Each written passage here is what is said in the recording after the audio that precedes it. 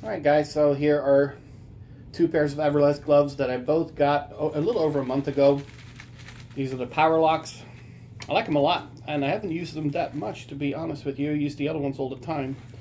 You can see the Powerlocks, the you know logo on the thumb, Choice of Champions, and, and uh, wrist part, and red laces.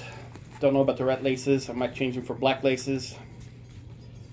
But uh, yeah, I used them only a couple of times. They do feel real good, but they're still they're still new.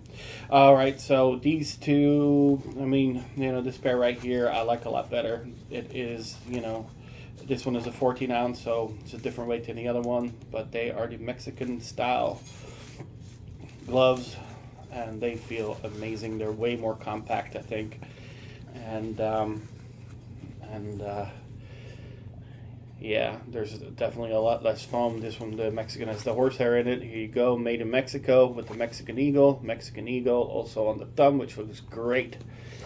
And um, yeah, you see a lot of pro fighters wear both both gloves actually. You know, in pro fights they are either eight ounce or ten ounce.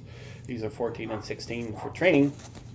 But uh, yeah, I use the uh, the Mexican ones all the time compared to.